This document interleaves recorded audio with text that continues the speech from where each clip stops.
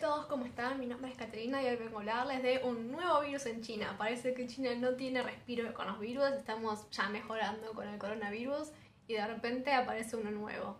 Ahora en las noticias chinas se está hablando del antivirus.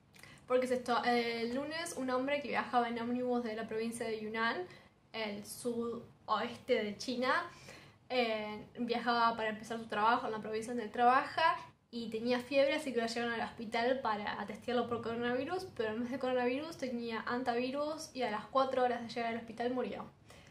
Junto a él había también dos personas que presentaban síntomas de fiebre que fueron tratados y ahora todo el ómnibus está siendo investigado e investigado para ver qué pasó. Para los que no saben, el antivirus es una enfermedad asociada con los roedores, las ratas principalmente, y por suerte, a diferencia del coronavirus, no se transmite por vías respiratorias, sino que tienes que tener en contacto con el animal, pero no solamente con el animal, o sea, pueden ser el pis, las heces, puede ser la saliva o hasta una mordida de animal.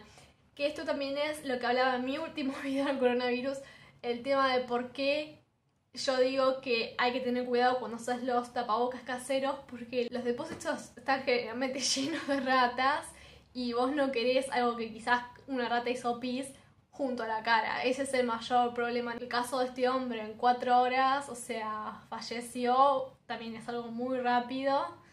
Por ahora no se considera una epidemia porque nomás en una de las tres personas que fueron testeadas fue realmente positivo de antivirus y que fue este hombre el que murió después de cuatro horas.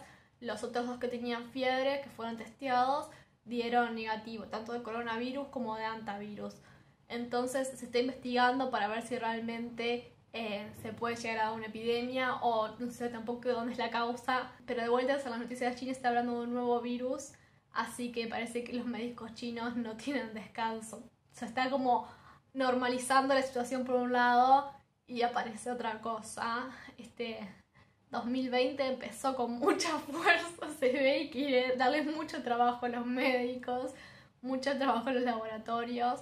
Y bueno, es más que nada un tema también de cuidarse y como hablaba antes con el tema de los tapabocas o el tema de, de todo lo que vayas a usar que quizás estuvo en un depósito hay que lavarlo, ya sea las latitas, siempre te recomiendan no tomar de la lata directamente, sino que usar un sorbete, lavar la lata, mismo con la tela, nunca usar la tela directamente, siempre lavarla, o sea, todo lo que puede llegar a estado de un depósito, en un lugar donde puede llegar a roedores, lavarlo y tener las medidas precauciones necesarias. Pero bueno, eso es todo por este video de las nuevas noticias que hay acá en China.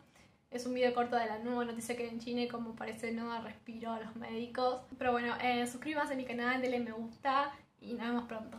Chao.